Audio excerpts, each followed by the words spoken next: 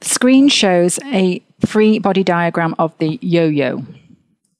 We can use the equation that the external torque is equal to the moment of inertia times the angular acceleration alpha, because the necessary conditions for using this equation are fulfilled in this case.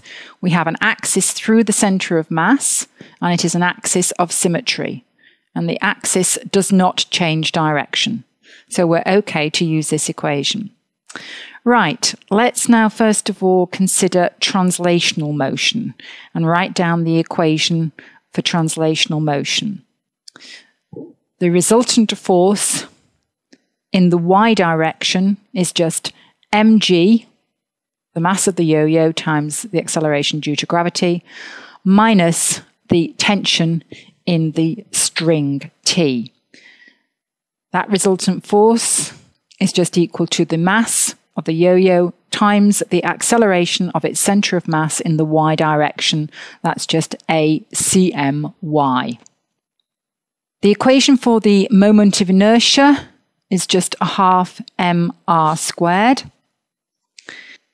And we can now write an equation for the rotational motion.